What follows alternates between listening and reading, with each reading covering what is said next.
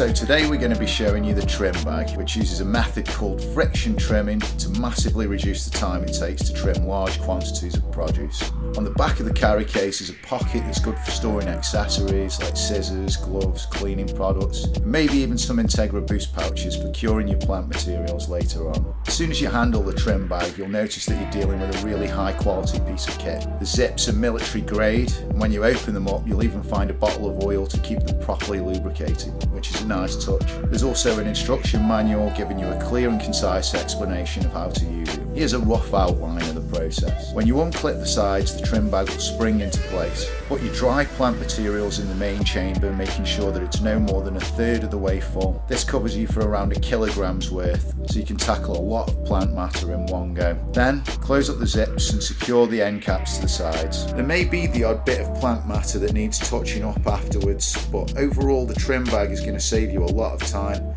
making it a worthwhile investment. To learn more, check out our website or pop in and see us in store.